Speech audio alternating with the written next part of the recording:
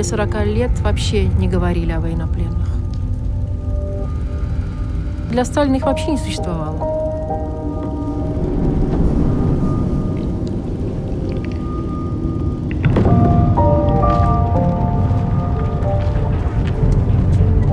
Гитлеру как-то надо было избавиться от этих миллионов душ русских военнопленных.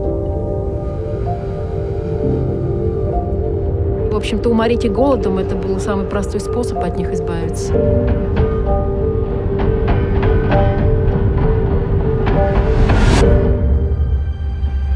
Что такое жизнь? Это же все же рассыпано, все это какие-то куски, сплошная фрагментация.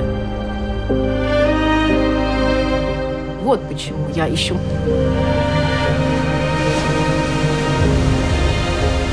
Твое сердце стучится в моем сердце.